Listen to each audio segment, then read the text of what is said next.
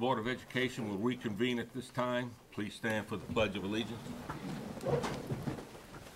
I pledge allegiance to the flag of the United States of America and to the republic for which it stands, one nation, under God, indivisible, with liberty and justice for all.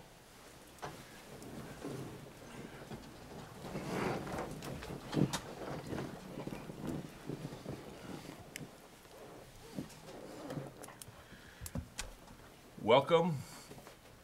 Everybody's waiting for the big snowstorm. I'm not.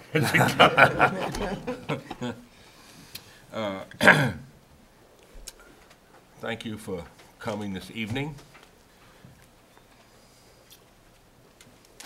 Is there a motion uh, to approve the agenda? I move approval of the agenda as presented with the removal of recognitions from this meeting um, and ask that those be placed on another agenda. Okay. We have a motion. Do we have a second? I second it. Everyone in favor signify by saying aye. Aye. Anyone opposed? All right, the ayes have it. All right, moving along, uh, for the purposes of time and the weather, board members, uh, please give your board reports to the secretary, so uh, they will be included uh, on the record for this evening's meeting. So we'll just move on along with, next it would be the superintendent's report. Dr. Martirano? Okay, I will try to move through this as quickly as I can, recognizing the uh, concerns this evening. Uh, My first topic this evening has to do with snow and uh, inclement weather. And so I'm going to bring the community up to speed on this, and I had great intentions of putting out a press release uh, regarding where we were and plans that we were going to advance to the board. Uh, But that has been uh, pulled at the last minute because of the possible events that are going to uh, appear in our county this evening, which would cause some adjustments for tomorrow as well. Now, I'm not saying that that's going to occur tomorrow, uh, for for those students who are in the audience who are smiling back at me greatly. Um, But uh, let me just bring you up to speed. As you know, board members, we take into consideration many variables in terms of closing school. And first and foremost of our decision-making uh, is the safety of our young people. Uh, When we have close to 18,000 young people, the majority of which are uh, transported by bus, we have a number of them, high, the high schoolers who are transport themselves by cars as young drivers. Uh, We have several thousand employees uh, who are then transporting individuals who come in from out of county, and then as well as a number of parents uh, that are moving. So when we uh, figuratively uh, start the school system engine up every morning, it's quite a lot of movement in the county, and we always err on the side of safety. The storm that came in last week, I don't need to recapitulate that with, with everybody, but it was quite uh, an incredible storm for all of us, but the fact that combined with the cold uh, air caused us to, to close for the total of the whole week last week, uh, those those total of four days. So those of you who are following along uh, understand that we have built in five official days to the calendar. We have allow a sixth day in the calendar because we have a professional development day on May 2nd in our calendar, which is, if you look at the fine print of your calendar, a makeup day if needed. So my plan this evening, and it is the plan this evening, is that so far we've used six days. We built five in. We have six built in. We've used six, excuse me. Um, we're even right now. If we use the, make the adjustment to the calendar for March or May 2nd being a day we would be in school. So if we follow that logic, that's all fine and good, with the exception of any further inclement weather days. So as it stands now, the five we built in, we've used. I'm now going to use the one in May, so there will be school on May 2nd. That's six. Day seven, eight, or any others from there will be either tacked on at the end, or the possibility exists that I could apply for a waiver from the State Board of Education justifying our great concerns. And I think we have a case for that based upon the fact of uh, the um, concerns we have with plowing the back roads, the incredible cold temperatures that hit the, the state, um, the, issues of concern with that presents us. So I'm going to allow that to continue to roll out. Uh, there's nothing for us to do immediately. Uh, in terms of other days on the calendar, we just have to wait and see. But there are things that we can do to adjust that calendar. do recognize that uh, people always question the fact of the number of days. State law requires that young people are in school 180 days. We have contractual agreements that we have to follow with our teachers and staff. And as it stands now, um, we hope that we have no more further inclement weather. But as I stated to one of our reporters, if a, op- uh, another uh, event presents itself, we will make the best decision in terms of safety, not the number of days that we've used thus far. And so I, as I look to the community right now, I continue to appreciate your patience and your trust in our decision-making. I encourage you to continue uh, to make people be very clear when they say, you know, why are they closing school? Or, you know, when I was a child, you know, we went up to, we went to school, and we walked uphill both ways with no shoes. You know, there's all kinds of different stories. When you have a county as large as ours, and there's back roads, and several of you in here have driven buses and know about all of that, our back roads are very treacherous. Uh, I rode the roads personally on Friday, on Thursday. Uh, we were out on Wednesday, Mr. Clements and myself, and the roads were very treacherous on those days, uh, quite frankly, and we were very concerned about the back roads. And so I would rather lose a day of school as opposed to jeopardize and put a life in jeopardy in that sense. So safety is always our main issue. We're going to continue to monitor that because we can always make up a school day, but we cannot uh, make up any kind of loss of life or injury of an individual. So we take these very serious, and I and continue to encourage and indulge the, ask for the patience of our community as we're all working and navigating our way through these inclement weather days. And it's not even the end of January yet. Sometimes our worst events can occur in February, as they say. So let's hope for no snow tonight. I did hear it's snowing in Ridge. Is that true, Mr. Clements? And in Hollywood. Well, it can stay there. Until I hear snow in Hollywood, California, maybe uh, we'll react, and there will be an event. So I wanted to give you that piece of information. Um, We have weathered these storms very well as far as the building, etc. Uh, We did have a water main break on January 7th uh, during the inclement weather and the cold weather during that time. We were able to mitigate that and um, open the school then shortly thereafter, the next day. Soup cook-off has been canceled, everything has been rescheduled. We had a wonderful day today with our board hearing. If I haven't told you lately, if I haven't told any of you, uh, did you hear about the graduation rate in St. Mary's County? It's ninety-one point five percent, the highest ever. I say that sort of joking this evening because I spent a whole hour and a half on this this afternoon, announcing how exciting that is to our community. Uh, The overall graduation rate is ninety-one point five percent, and that is the highest ever.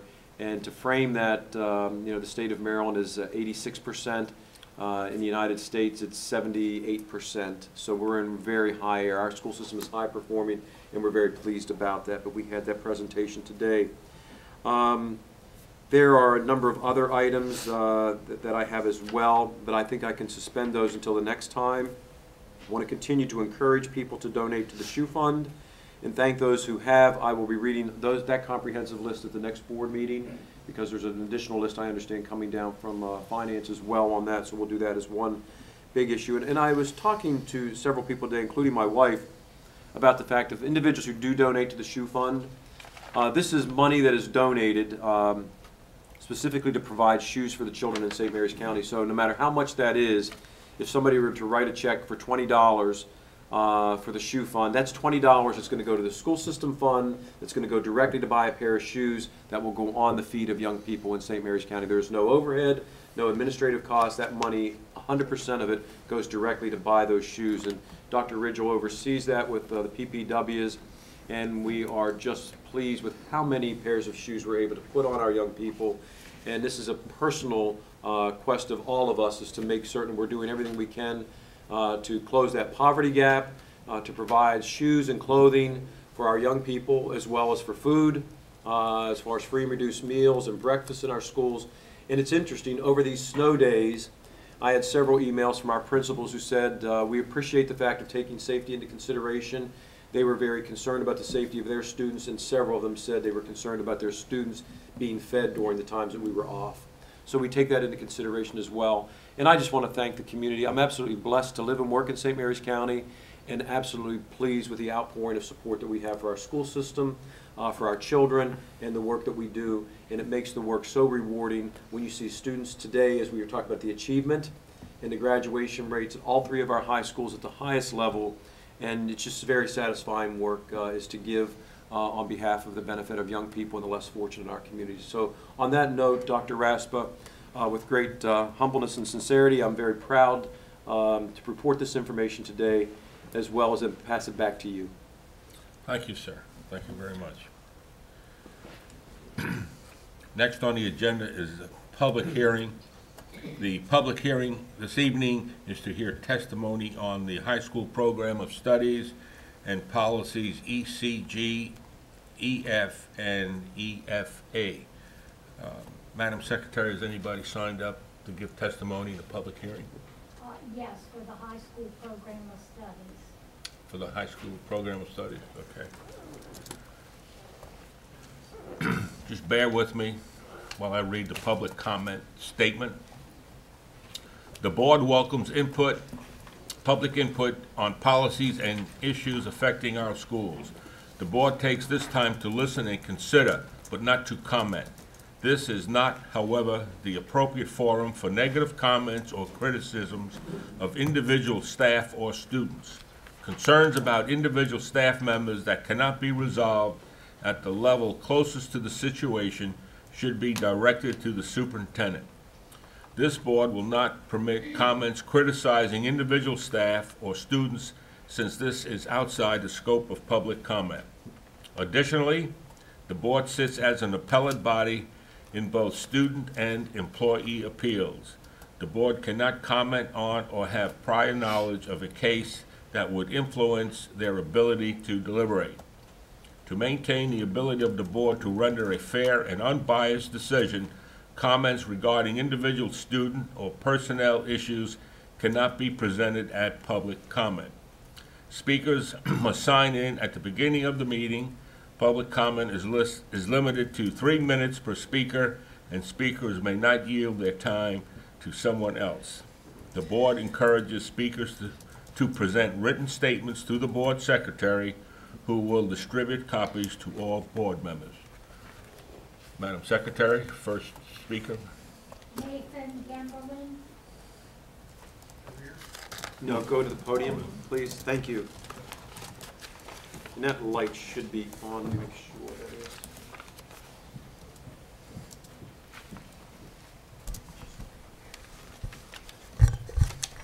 Okay, thank you. Um, uh, first, I would like to start off with thanking everyone for their time this evening. Um, the board and other members of the, uh, not the board, the public.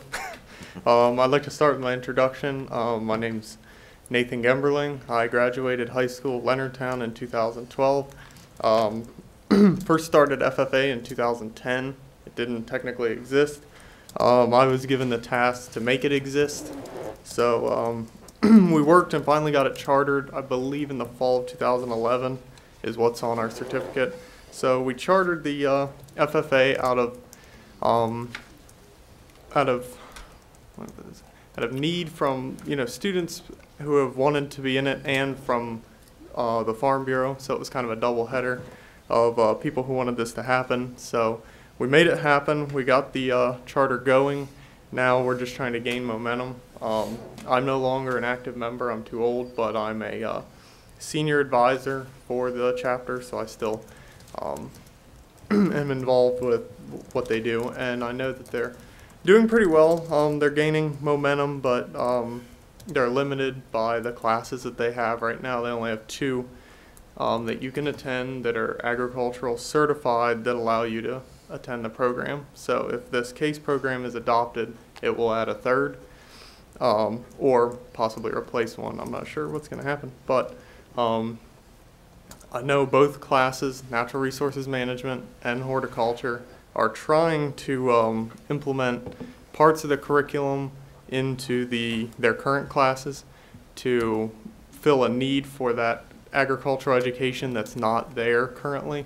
So I know that both classes utilize this information for students who are interested and for their own interest so that they can teach it, but it's kind of starting to stray a little bit, I guess, from um, what they're actually supposed to teach. So this would free up a lot of room in their curriculum to continue with their individual programs and allow for a third, more comprehensive curriculum for um, this individual agriculture education program.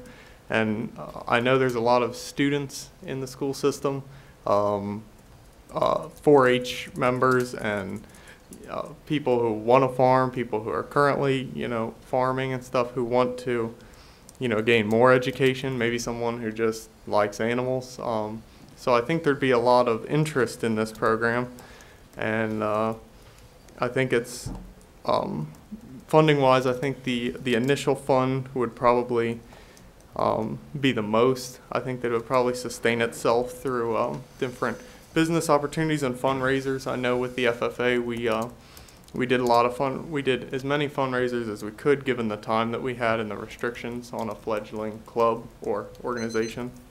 So um, I would like to um, I'd like to thank you for your time and please consider this. Thanks. Thank you. Thank you. Charlie Sasser, Kind of decided. Sasser, I went to Frederick Sasser High School.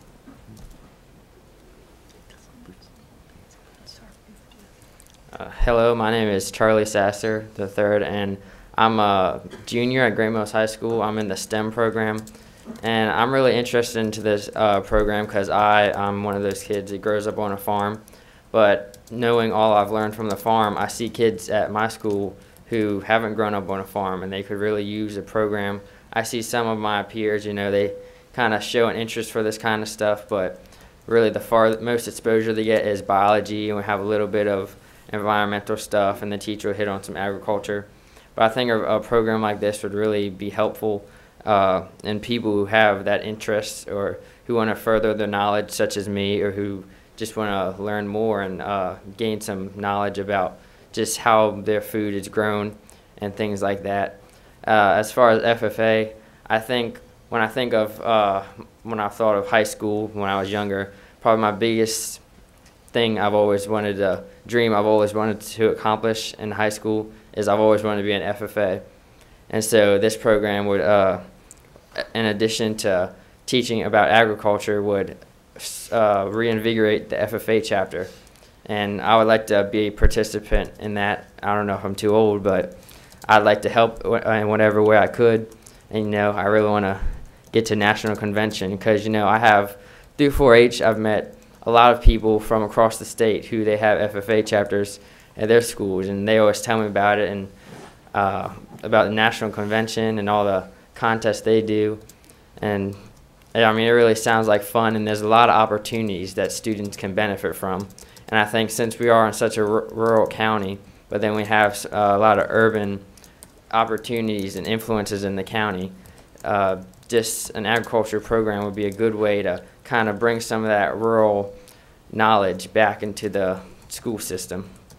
So, uh, you know, if you can make this happen, I'd really appreciate it as a student. I know there's a lot of people who would appreciate it. So, thank you, and let's see what we can do. Thank you. Gabrielle Corey,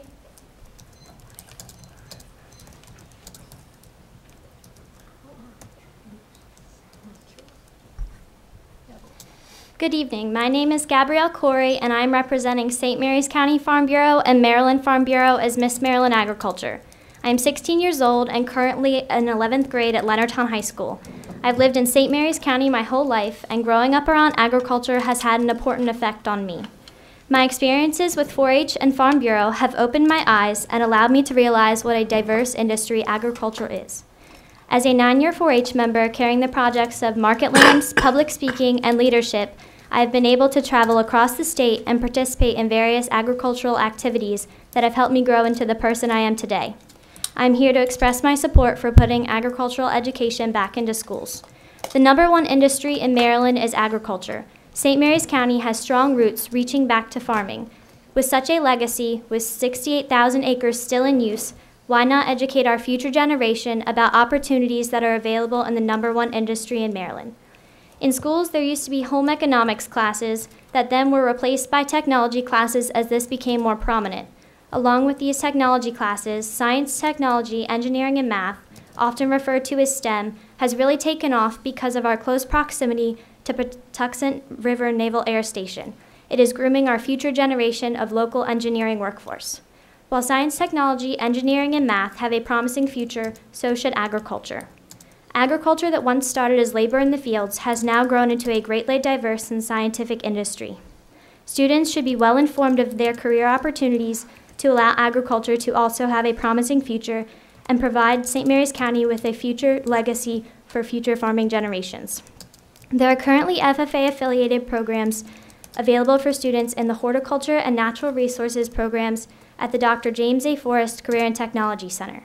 As a first year student at the Forrest Center, in the dental assisting program, but still with the interest in agriculture, I was looking forward to joining FFA. I'm, the CASE curriculum that will be implemented at the Forrest Center will lay the foundation for careers in agriculture as well as provide college preparation. Agriculture is just as important as technology because it is the first step in producing the food that we eat.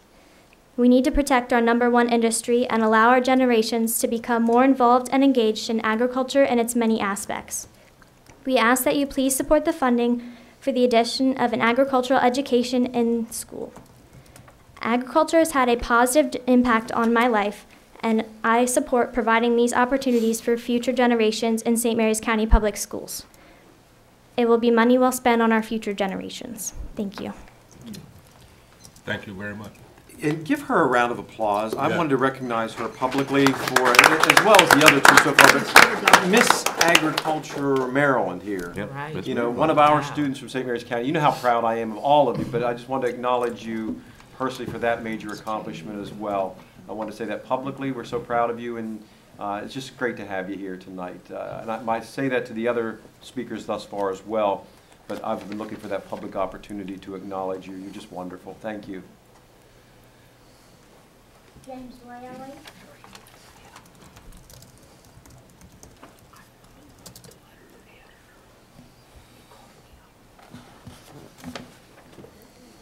Good evening. My name is Jamie Raley. I'm here tonight as president of St. Mary's County Farm Bureau. And I'd like to thank the school board and school staff for your efforts in getting the ag education program uh, in your tentative budget to be uh, submitted to the Board of County Commissioners. I think uh, it speaks, speaks highly of the opportunities, and I've been hearing that word from our young people tonight, opportunities for young people, because while we look forward to having more people engaged in agriculture, production agriculture. The curriculum for ag education and technology also wants to look for the next generation of, and future generations of veterinarians, ag economists, extension agents, people who are going to go out and teach other folks how to do what we do here in St. Mary's and around the world. Uh, Thank you very much to the young people who came here tonight to speak on behalf of us, uh, of agriculture in the county, because those are the ones that are most important. Again, I appreciate it. I appreciate all the help of Mr. uh, uh, Michael Egan. Uh, we- we- He's been very, very helpful with uh, keeping us in- informed about the progress of the uh, program through, through the system. Again, thank you very much for your efforts, and we appreciate it. Thank you, Mr. Riley. Joseph Wood.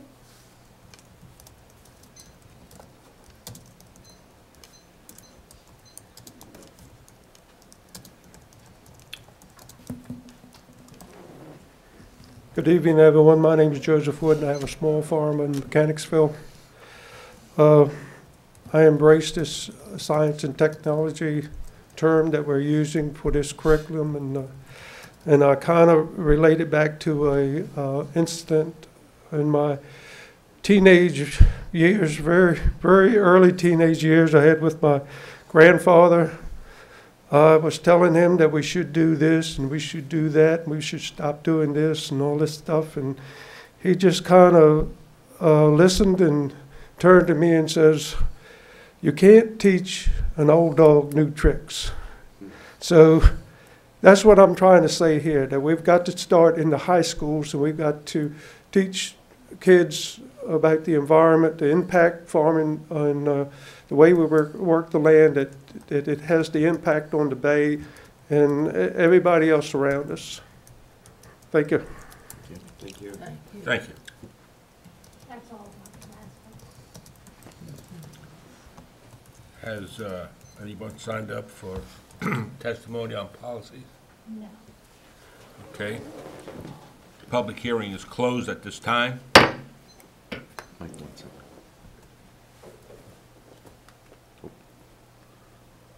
Anybody for public comment? No public comment. All right. There'll be no Yeah. pub, I think the superintendent would like to make some remarks. all right. Dr. Martirano, Okay. the floor is yours. Thank you. Um, If you're here tonight uh, to support the CASE curriculum, could you please stand up, if you would, if you're here representing the Farm Bureau, the CASE curriculum? I I would like- just stay standing if you would. Thank you to all the speakers who are here this evening. Uh, On behalf of the Board of Education, we want to thank you. Uh, We do want to let you know where the, uh, the status of this program is right now. Today, we had our budget work session. The board has encouraged me to continue to add that to the budget. There's a whole process we were going through with it. I encourage all of you, uh, with your level of commitment that you've shown tonight in front of our board, to also be a part of the budget process with the Board of County Commissioners as the ultimate funding source for us. Uh, Right now, we have added it in as a uh, part of our budget uh, that I'm presenting to the school board, and I really appreciate your advocacy this evening. Uh, To everybody who spoke tonight, thank you for doing that. And again, to our young people uh, who are still in school, go home and get a good night's rest because you have school tomorrow. Uh, And we'll proceed accordingly in that sense. That's wishful thinking. And we move forward. But uh, board, board members, I wanted you to see the number of people who've come out tonight. And there's also been the acknowledgement of Michael Egan, who's back in the corner there somewhere. Uh, He is responsible for the implementation right now, and we'll have further information from him. So thank you very much for coming out. Yes, Thank you for attending this evening.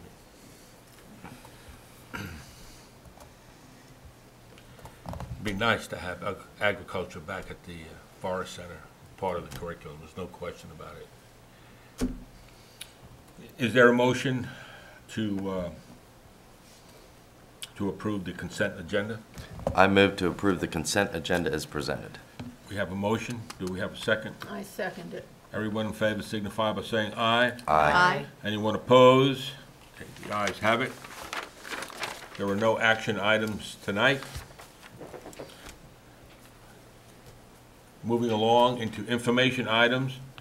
The first information item we have is the St. Mary's County Public Schools kindergarten update, Maryland model of uh, school readiness. Mrs. Hall and uh, Miss Cindy Kilcoyne.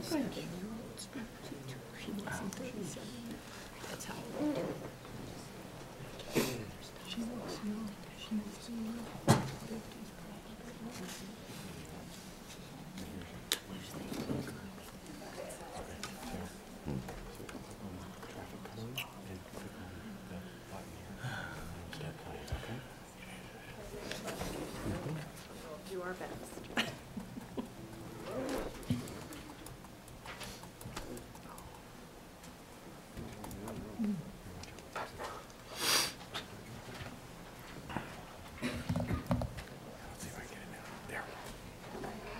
Perfect. Okay, thank you. Okay, just begin whenever you're ready. Okay. Good evening. We're happy to evening. be here. Um, Mrs. Kilcoyne and I are going to speak to the status of kindergarten and give you an update on our Maryland Model for School Readiness Assessment and our results. And right now, just kind of the lay of the land, uh, our kindergarten students participate in a full day of developmentally appropriate um, activities and practices. Enrollment as of December was 1,349 students, and each classroom is taught by a highly qualified early childhood educator as well as a paraeducator. So we're very fortunate to have that staffing. Okay, Mrs. Kilcoyne will walk through what a typical day looks like and the kinds of things that students are learning to do.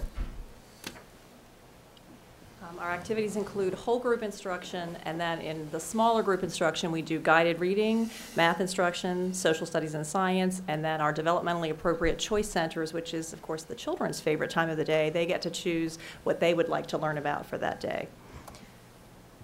Uh, Just a couple of pictures to share with you of the typical daily schedule. Our teachers present it to children in a- in many different ways. This is just two uh, ways that we've seen it presented. One is a pocket chart where they're removing each activity as it happens, and the other is presented on an Elmo.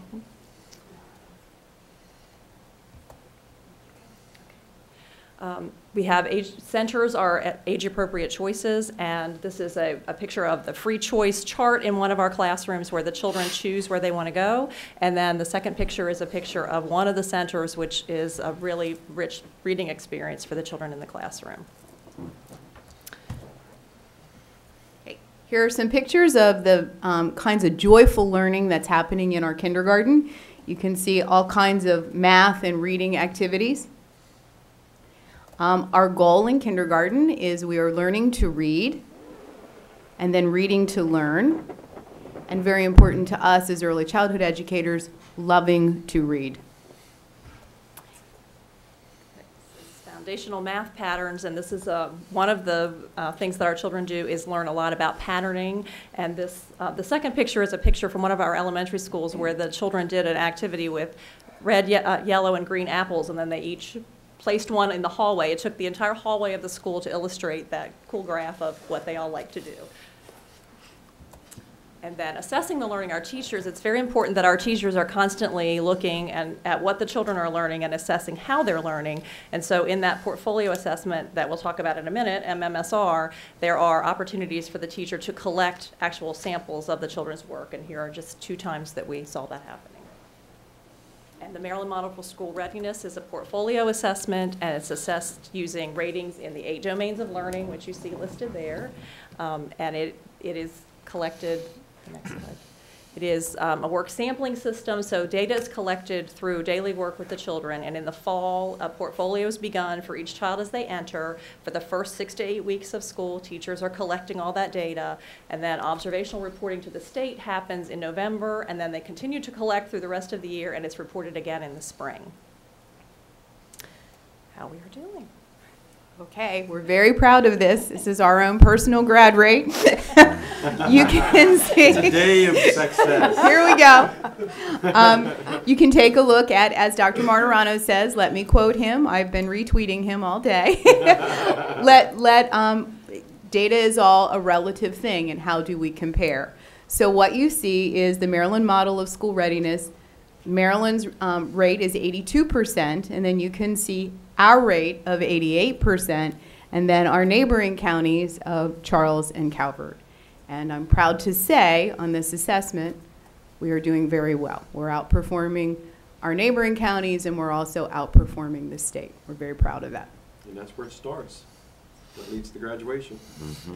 But as always, we have a new assessment system coming. The Early Childhood Comprehensive Assessment System is the first project in the Early Learning Challenge Grant, which is a partnership between Maryland and Ohio. And one, it's just one part of that, that Early Learning Challenge grant. And the hallmark of that whole thing is the kindergarten entrance assessment. And we're learning about that as we go. They did a blind field test of that assessment in um, December, and two of our schools were part of that blind field test. They're now collecting all that data, looking at it, and deciding how we're going to roll that out. And then the kindergarten assessment is an assessment of seven domains of learning, which are listed for you there. Social emotional, physical motor, language and literacy, math, scientific thinking, social studies, and the arts. Kindergarten is a wonderful learning experience. And we want everybody to know learning is fun. Mm-hmm. And now we have just a short video to share with all of you, just a video of one of our teachers of whom we're quite proud. Miss Courtney Tyra is a kindergarten teacher at George Washington Carver, and we have a video of one of her lessons. Okay. So let's go. Oh, where's Maddie now? Is she in first grade? It's very brief. Did she There's a little arrow.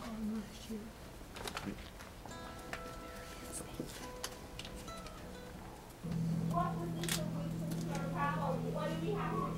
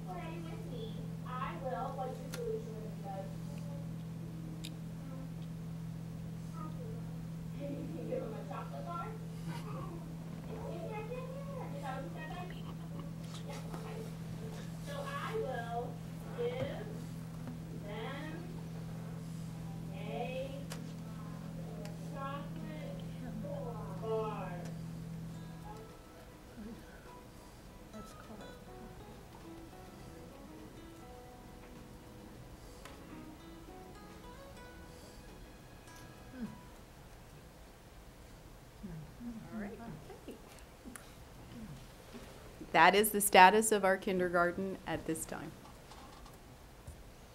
Thank you. Well, thank you very, very much. Board members, comments, questions? Uh, Mrs. Allen? It's always nice to see what our students are doing. We all are in and out of schools often, um, but uh, I think we all think back to the days of our early education, whether it was kindergarten or, or first grade. um, And uh, you have this vision of what it was. Uh, I don't ever remember sitting in, in a classroom at any level and having a teacher say, this is the problem, what are our solutions? And the fact that we're doing it in kindergarten, giving students those tools to solve problems, how powerful that is. Solving problems when they're little problems and teaching them the steps they need to go through um, gives them great conflict management skills. It gives them great thinking skills, and um, it allows them to be creative. And I, I just think that's wonderful. So thank you for s- taking the time to share this with us this evening. I really appreciate it. Mrs. Washington? That was a wonderful presentation. And uh, what I appreciate mostly is that you're teaching children how to problem solve, how to be problem solvers. Really, the first steps to being critical thinkers. You know, that this is the problem, what, are- and that I do have choices. I do have choices. And I think it's great um, that you're teaching such skills in kindergarten. And one other thing I love, many things, but I'll just say one more, is for children to develop a love for reading. That is key, developing a, a love for reading. Now, how do you deal with students who are already reading when they enter kindergarten? Because uh, many of them are already reading.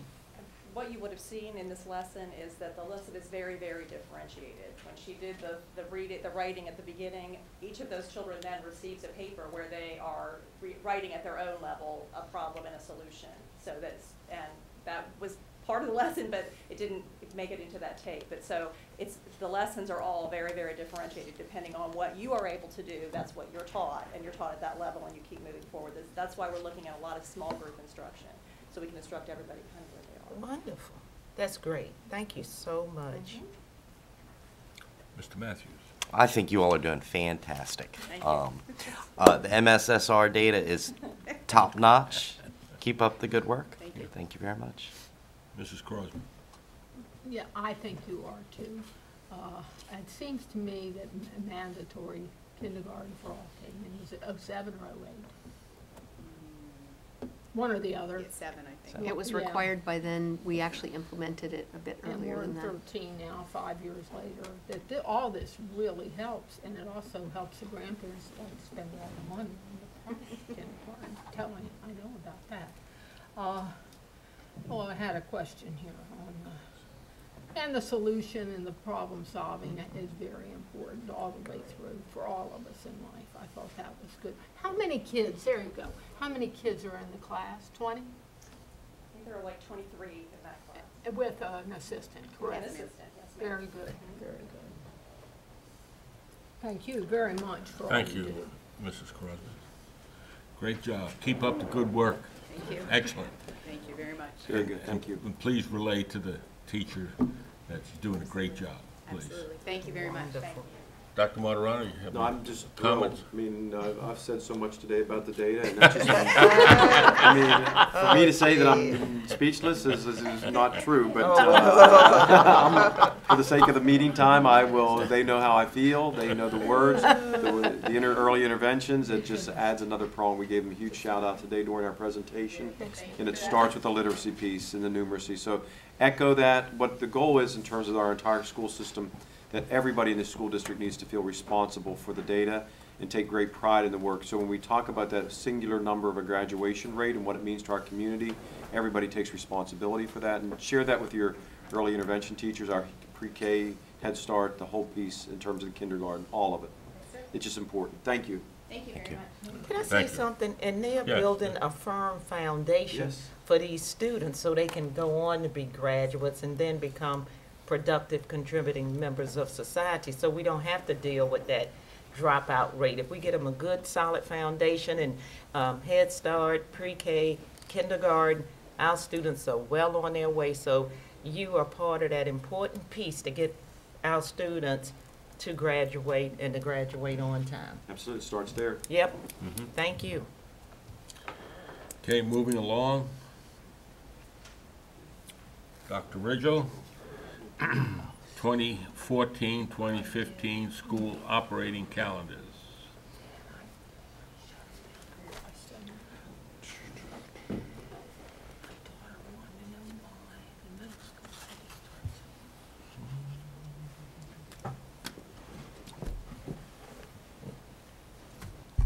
Okay, good evening, Board.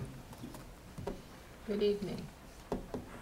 Tonight is the first reading for the 2014-2015 school system calendars, both the school system operational calendar and the Chesapeake Public Charter School calendar. The public hearing will be held at the February 12th meeting, and the second reading for your approval will be at the February 26th meeting. I remind everyone this is only a proposed calendar, and it is not official until your approval on February 26. The school system operational calendar was developed by a committee of teachers, principals, assistant principals, central office representatives, as well as representatives from the Education Association of St. Mary's County, the Collective Education Association of St. Mary's County, and the County Council of PTAs. The charter school calendar was developed by the governing board. Ms. Vanya is here to answer any questions this evening as well.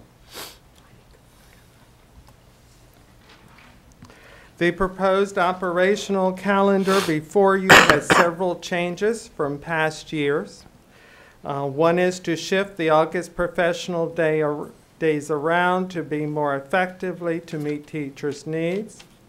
Shift the early dis- dismissals to a consistent day of the week to the extent possible, and Tuesday will be that day. Switch the purposes of the September and January professional days to align the professional development with each semester and provide Head Start and pre-kindergarten parent involvement activities on early dismissal days to provide structured parent engagement activities. I'll talk about each of these as we come to them in the calendar. First one then is those back-to-school professional days for staff. This would be the proposed calendar for the four professional days before school opens. Note that the school system and the charter school are proposing rearranging the days to facilitate classroom preparation time. So the classroom preparation day would be on the Friday for the school system, August the 15th.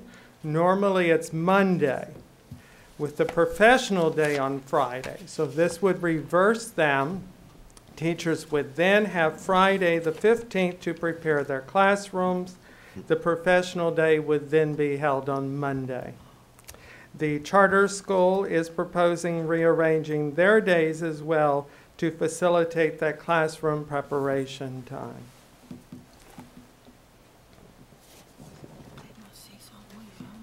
The first day of schools for students will be on a Wednesday to facilitate any opening adjustments versus going five straight days for the first week. For the school system, that would be Wednesday, August the 20th. For the charter school, that is Wednesday, August the 6th. Labor Day is a holiday for students and staff, so all schools and offices are closed. There is no school for students with a school-based professional day for staff. Note that this is one, another one of the changes in the professional days. Normally, this would be a county-wide professional day.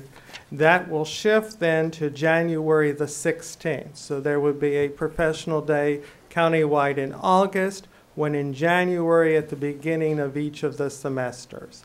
Instead, September the 19th would then become a school-based professional day. The proposal is to maintain the Parent and Guardian Conference Day on Columbus Day, would be October the 13th. Historically, we have found this day to be family-friendly, given many parents have the day off from work. The Maryland State Education Association's convention includes Friday, October the 17th. There is no school for students with a school-based professional day for staff. The general election is on Tuesday, November the 4th. Since many schools are used as polling places, all schools and offices would be closed. All schools and offices are closed for Veterans Day on November the 11th. The Thanksgiving holiday includes Wednesday to provide time for families to travel. So then it would be Wednesday, Thursday, and Friday. The schools would be closed and then reopen the following Monday, December the 1st. Winter break. Schools would close on Friday, December the 19th, and reopen on January the 5th. Including weekends, this would be 16 consecutive days. January 16th then would be that other system-wide professional day for staff, no school for students. This is one of those changes. This would permit a system-wide, again, professional day at the beginning of each of the semesters, critical as we talk about the implementation of the college and career ready standards and the PARCC assessments. All schools and offices are closed on Martin Luther King Jr.'s birthday, January the 19th.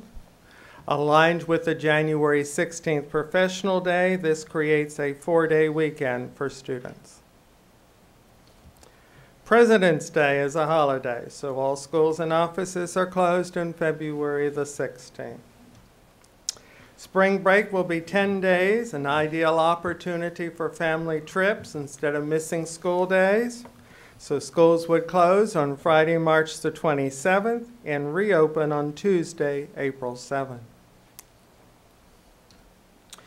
No school for students on Friday, May 1st, Articulation Day. Articulation Day is used to facilitate the transition of students between grades and among the schools for the next school year. It is also designated as a professional inclement weather makeup day if needed. Every turn of the day brings that up, doesn't it? Memorial Day, May 25th, no school for students and staff. The proposed calendar also includes time for staff collaborative planning, critical for lesson planning and the monitoring of student learning as we implement the college and career ready standards and PARCC assessments. And the days for collaborative planning varies between the school system and the charter school. The calendar also includes early dismissals for professional responsibilities, as well as the Head Start and pre-K parent involvement activities. Professional responsibilities, of course, include grading and report cards at the uh, time for the end of the interim and marking periods. The charter school also provides early dismissals for staff to complete the narrative report cards. Since the charter school opens 10 days before the other schools, their calendar provides for three recesses during the year October 6th to the 10th, February 12th and 13th, and May 20th and 22nd. The last day for students will be June 16th. This includes five built-in days for inclement weather that will be backed off if not needed. Uh, that would make the earliest June 9th if the inclement weather days are not needed. Keep in mind this is the 14-15 school year calendar, not the current one. and the last day for teachers would be June 17th if the five days of inclement weather is used.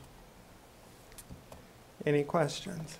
Maybe there'll be a resurgence of global warming. There's, notice there's not been much talk about that recently. I know. Um, Dr. Ridgell, thank you very much. Uh, Board members, questions, comments? Uh, Mrs. Crosby. Yeah, maybe I'll have to have my daughter call you, but she claims there's a big rebellion in Wildwood about having to get up too early. Take all the elementary, I mean, they're all gonna be going, going to middle school, and they wanna sleep longer. So, should it be, can you give me a, a simple answer to give her? I was gonna throw it off on you, but you might as well let me have it. I have not, do not know of any changes in school starting times. It's pretty early, early though, for middle school, isn't it? For the first day of school, For, throughout the year, isn't it? She's, you're- you talking about the start of this time of the day? Yes. Oh, okay, Yeah. so that's Different- different different than. that's a, Different yeah, than that's not the calendar committee. That's, that's based on many other factors besides the calendar. Oh, my goodness. Yeah, I'm sure, oh, yeah, I, I know, we'd have to probably buy a whole ma- uh, raft of new buses to accommodate every little whim. It's, Uh, it, parents would all starting to get times out are in the car. complicated. It, yeah, I'm sure it is, yeah. Thank Has it you. ever come up before? Well, Not to the calendar committee because we don't do start times. Thank you very much, Mr. Rizzo. But since Thank it's you, been Mrs. brought up, Crosby. go, go ahead. Uh, Dr. Monroney, you- I would just provide some clarity there. I mean, Yes. we're- when we're talking about the calendar, it's interesting because the fact there's a, as we've talked about this in the past, once you put in all the must-haves, there's not a lot of flexibility. Correct. So I appreciate the work that, uh, that you do in, in regards to this, and then the compatibility with, uh, the compare and contrast of the charter school. We have the principal here tonight as well, uh, and you, you do a great job. There's certain inherent values that dictate that. Uh, great conversation across the state right now regarding starting school after Labor Day. Uh, the superintendents have come out and have opposed that. I presented testimony to the task force on that recently. But that's in motion, and you need to be aware of that as it plays implications, because that could be accelerated in the process. So we'll keep an eye on that. As far as Mrs. Crosby's uh, concerns regarding uh, the, the school start times for the day, uh, this county has actually uh, made some moves prior to my arrival to make that adjustment because it's a large county. Uh, We have a tiered system as far as our buses, and we've made the decision to put the high schoolers in the, in the middle tier uh, of that run. The- uh, Excuse me, the high schoolers in the middle tier, uh, middle schools at first, and. They're in the earliest, Yeah, right? so middle school, high school, elementary, in terms of that tier. And when you have the system of which we have, you have to do that, uh, you know, in that sense, because we don't have enough buses just for That's what I high was school, told. and then That's elementary, exactly and then what I high was school. I told her that, too. So we adjusted for the developmental issues, the adolescent pieces, uh, high schoolers needing more sleep. We also have a longer day than some of the other school districts, where we're Oh, six. good, I'm glad you told me that Yeah, one. We're six hours and forty-five minutes. Hold on, I got But this is getting great attention because I was surprised that we were, we've been rather progressive because we dealt with this issue a while ago. Mm-hmm. Uh, Montgomery County is now dealing with that issue, uh, and everything that we have in place, Montgomery County is moving to, uh, to tier their systems the way that we have it. Uh, They have it right now where it's high school, middle, elementary, they're flip-flopping the high school and middle. And then uh, they have a, they're adjusting the time of their day too, because they have a shorter elementary day. So they're making it more compatible with what we have. Uh, So that, that's, that's a challenge. We continue to work with parents. Uh, And the- the middle schoolers, you know, have to make certain that we get them prepared by starting, going to bed earlier, getting up earlier, and it's a process for them. We receive uh, very few concerns about that throughout the year, in fact, uh, non-existent, quite frankly. She's gonna have to get on to the county council. Yeah, a- and express that, but then the other piece is, um, again, I always use the uh, statement, for every action, there's an equal and opposite reaction. Yeah. What are the alternatives, and how do we do that? We've gone through the internal, how could we just shave off ten minutes? That, within itself, I have never seen such a challenge just to shave off ten minutes, to move the starting time back ten minutes. Because then, again, sort of like, uh, you know, whack-a-mole, you hit one head down, the next one pops up. Okay, we take care of that front load, then we push everything back ten minutes further, it starts impacting the athletic schedules. Then you get into daylight savings, a later, uh, a pickup time for the elementary kids. So what we've tried to do is strike the right balance between the developmental issues, uh, and I'm talking about this calendar-wise too, strike the right balance between family time, longer summers, the instructional day, hours, 180 days, the teacher's contract, all the must-haves, and then balance that with the length of the, the student day and manage that with the teacher workday as well. I think we probably have hit the right balance with it, but there's always going to be a consideration because somebody's going to feel like in elementary, we like sleeping later. There's always going to be somebody who wants to start earlier in that sense. The piece of it is, Mrs. Crosby, and I appreciate if uh, the community of Wildwood, as they're advancing to the uh, middle school level, I encourage them to either ask us to come speak to them, which we're always available to do, to explain them in terms Mm-hmm. Let of me the write that information. down too. Write that down. We're always available to speak to community. And then to talk to the principals. You know, they, they spend Kim. time. Uh, I can tell you, Miss Mills uh, does a fabulous job of, of, of advancing to the, the, the middle school level, uh, of those and what that is. And then you also know, my final piece, Dr. Raspa, thank you for allowing me the, the opportunity to talk. Um, the, also the other issue is all of our academies and our STEM programs and different things have the hub bus systems, and they run a little earlier as well, you know, in terms of getting there and what needs to be done. In the scheme of it, if we were a smaller county and an urban county, uh, where, you know, you have ti- tightly compacted neighborhoods, uh, we don't. So therefore, we have long routes, it takes longer to get to places than other places, but when I worked in Montgomery and Howard and Prince George's tightly compact neighborhoods, a run from the elementary to move to the middle to the high was a lot less time in terms of travel from one school to the next. So you could have a little bit more level of compression. So I just brought that whole picture up as it ties into the calendar, not to get it mixed up. One is calendar and one is start time. And again, both of these topics are getting, uh, getting some attention in the legislative session. There's a bill out there regarding start times generated as a result of the conversation uh, around Montgomery County. So, thank you. Thank you. Yep. Thank you, Dr. Martirano. Mr. Matthews, Thank you, Dr. Ridgell. No questions. Mrs. Washington. I see something very interesting. Uh, it says early dismissals for professional responsibilities and Head Start and pre-kindergarten parent involvement activities. Could you share? One of the, the great things about having Head Start this year is being able to increase the amount of work with the families in addition to having the students in school. So we'd like to expand that to the pre-kindergarten families as well next year so that in being able to use those designated days, it could be for the teachers to go out on home visits, it could be for the families to come to school, for parent conferences, it could be for other school-related kinds of activities, to be able to work more closely, the school and the families. That's interesting. Um, could you tell more what those activities would be? I mean, you give a general, Yeah, and I but want to let- know a little bit more. Did you what they really do. emphasize the fact that currently when there's um, those early dismissal days, we had an inequity in terms of AM and PM? We did that also. So let's make sure we're framing this at the higher level. Exactly. The recommendation this year, uh, and I appreciate you bringing the question up, Mrs. Washington, I will get to that, but I want to make certain we understand, before we would have AM, PM, and we would have maybe five, ten more days, right, of mm-hmm. instruction for one versus the other. What we've gone back to do is to provide, the only way to provide equity, because the, every, canceling AM, PM one day and PM in the- in the morning the next, it just doesn't work. Right. We had so much confusion regarding buses. We've now said on those days, there will be no AM or PM, correct? Correct. On those days, because they're, the developmental needs that need to occur for the young people, they're going, gonna be going into the homes, working with the families, bringing them in for prof- training, how to be, parenting skills, a whole series of things uh, that we feel are necessary uh, in terms of the Head Start curriculum. Uh, There's a whole different level of curriculum, even when we think of uh, how the young people are eating in terms of family style.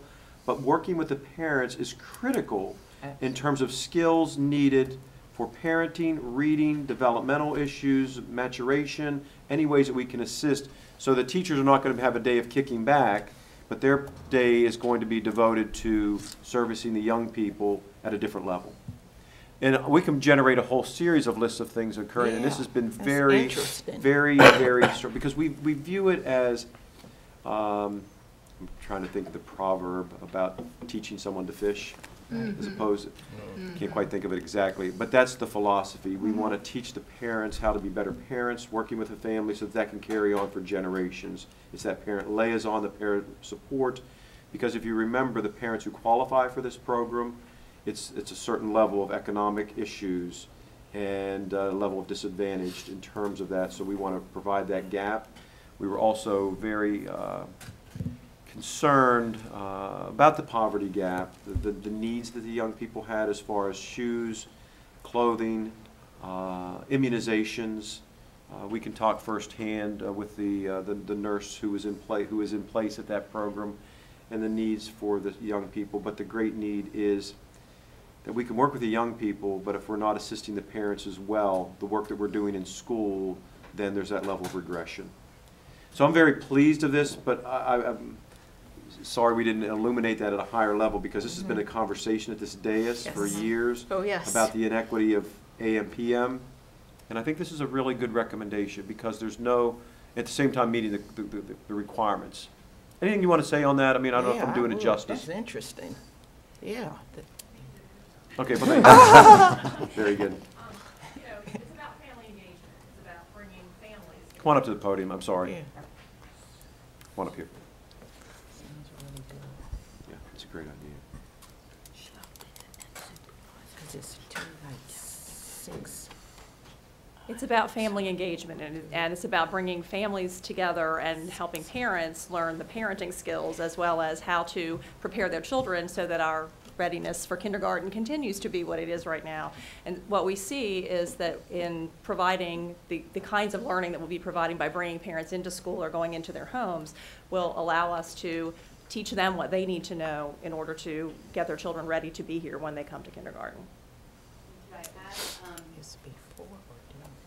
You know, for our pre-K program, you know, we're trying to align it, uh, you know, a four-year-old program, whether it's Head Start or pre-kindergarten, those teachers have 40 students, and that's been difficult to get all of those families into conference. This will be, um, will help us ensure that we can, we can do that, that every family will have the opportunity for a conference. Certainly, some will have home visits. There may be some parent training workshops specifically for early childhood um, as we work through it. But, but really, at the calendar committee, the, the idea of conferencing and making that doable was, was well received by the teachers that were present and also the parents and the PTA members that were Well, present. Kelly, also illuminate the data, and this is data that we can share because it's a general piece of data. We had a, a number of, how many students were enrolled the first day for Head Start? Oh, um, a hundred and sixty-one. Yeah, so to give you an example of a, a need for intervention, of those 161, only a few had their immunization records Right, up to where it needed to be. right.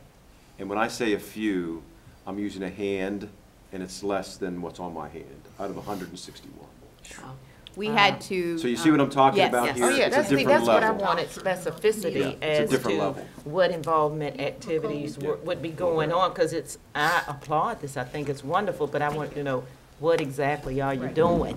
You So- know, not general, but, We had to follow up with each one of those families at that level to engage individuals. Same way I said about the buses, we had to follow up specifically with each one of those families to designate that bus area, train them how to, where to get the date, all those things.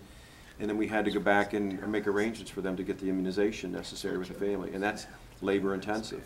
In that sense, we only have one nurse in that program, as I keep looking back in the back room.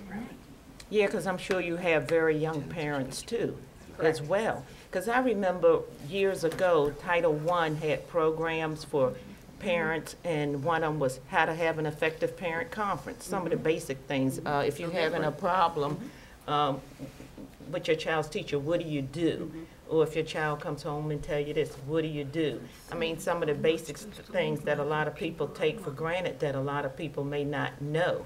Uh, give the teacher a chance, you talk to the ch- classroom teacher first before you call the principal or the superintendent or a board member. So I think this is, well, Thank you. wonderful, what Thank you're doing, and, uh, I would like to hear more about it, like the, Yeah. the classes you're gonna teach, what are you, go- the programs you're gonna do to help these parents, because it gives them a solid foundation on, um, how to work well with the school system, because maybe some of those parents didn't have a good experience Right. with the school system. So I think this is great, and it's six days that you can do this. Right. So I, I, I think that's, Well, you know, the other piece too, Mrs. Washington, it's a, it's a wonderful conversation, and, and, um, the, the piece is, if we could ever get to the point where when a child is born, you know, we, we spend great time with them as soon as they're born, about what needs to be done for a healthy lifestyle and a healthy advancement for the developmental and maturation process. I've always talked about the need for a prescription for the development of the mind, what needs to occur. Not all parents are trained to be parents. You know, they're not all of a sudden, just because you have a child does not mean you're going to be an effective parent.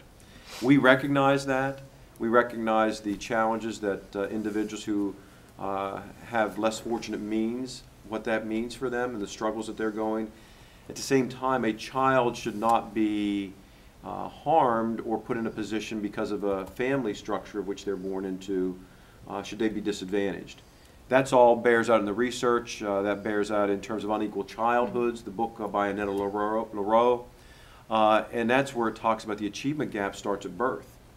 And so all of these intentions, I'm very proud of this because it gets to that uh, actual one-on-one intervention and recognizes the challenges that the parents may have. We're going to them. We've built the time in. We value it. Something you've advocated for for more parent liaisons. Uh, and to acknowledge that. Those are the courageous conversations and putting those uh, actions in place. So I'm very proud of that.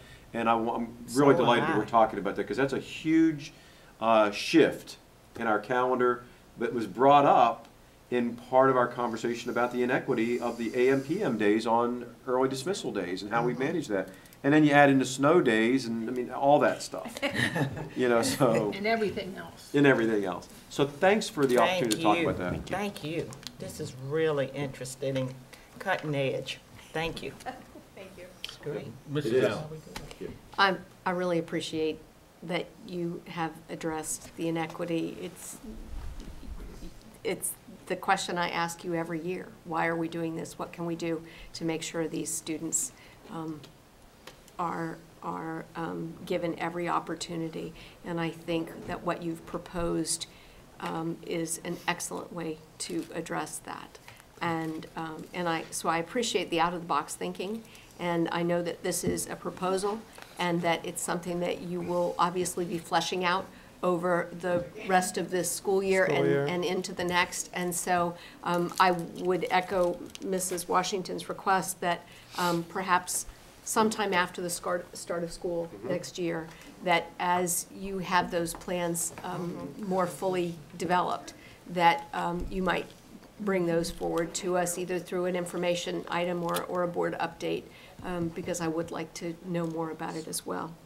Um, So thank you all very much. Um, And lastly, uh, to your point about the um, ongoing discussion about when to start school, I think your comment about the fact that it's sort of like whack-a-mole, if you do something here, Right. something over here pops up. I think what we need to continue to stress to our delegation and um, i- is that uh, we have eight days of school prior to Labor Day. If we take those off of the front end, they have to go somewhere. And so I, I sat here as the discussions were going on and I looked at the end of the calendar. That would mean, if this were to pass, um, that our students would be in school until Friday, June twenty-sixth. Right. So, um, and when you, when you take into account when our various assessments are done, and those are set often by the college board, um, or by the state, or by the feds, um, those are typically given, you know, earlier in the spring. So you're talking about much less, you're, you're talking about losing eight significant days of instruction.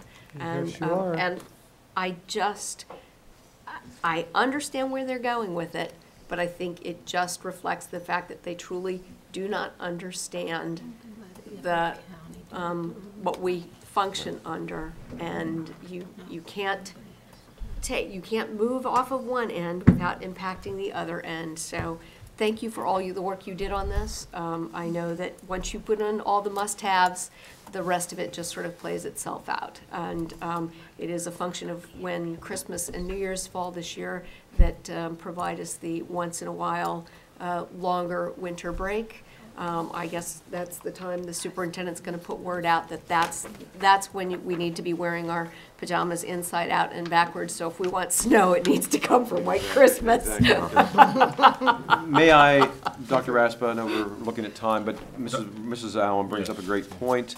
Um, Angela, I'm going to ask uh, that you make certain that your charter school is following the work regarding the post-Labor Day.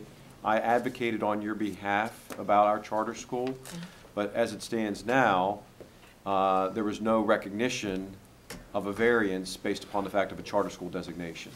So I said, I've got a very unique model that I've tried to advance for the total community to embrace for our school system that addresses the summer regression, the summer gap, keeps kids in school longer, uh, in terms of, I should say, in terms of engagement, uh, talked intently about that, and um, was concerned. I would ask your network to tune in. I was uh, early morning greeted by an email where I was asked to provide more information about the, how would it look, and very clearly stated what Mrs. Allen said, you only have so many options, and that would push it into June, and I need to put the school system and the community on notice. It starts very clearly tinkering with things that we put in at the issue of the local control. That's why we're advocating for local control. Because I would immediately have to recommend to this board that we could not go to June 26 at that level because of other things that we have. So we have to start looking at spring break, other ish, things that we've put in that we know, compressing different breaks, looking at our professional development, all those things that are valuable to what makes our system work. And that was the advocacy level uh, promoted. It was tinkering with local control because we all have unique variables. And so I want you all just to sort of tune into that as this conversation is occurring, but the movement of front is to move this to after Labor Day.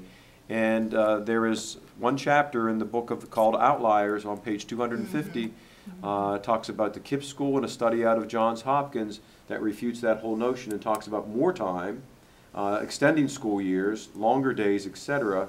uh, and at the same time valuing the need for downtime with family, etc. But it all can be balanced out, particularly when you're talking about these issues in total. So I asked the charter school to tune into that and relevantly look at that. Thank you. I'm quiet.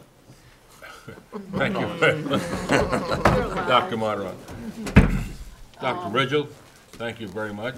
As usual, great job. Uh, Mrs. Hall, uh, thank you for the input. And Mrs. uh, Kilcoyne, thank you very, very much. Yep. And uh, I remember years and years ago, I used to chair that committee. It's a tough one. And uh, It might be easier if Once he told we- us what he hadn't done in the school system. And, and once, once I got through, I don't advocate, Dr. Ridgell, that you, you proceed with this, but I thought many a time it was time for me to go see a psychiatrist. It's a wonderful group of people. Thank you very much. Uh, Future board meetings, the public budget hearing on the FY 2015 operating budget will be held on Wednesday, February the 5th, 2014, at 6 PM here in this room. And the next regular board meeting will be held on Wednesday, February the 12th, 2014, at 9 AM. This meeting is adjourned.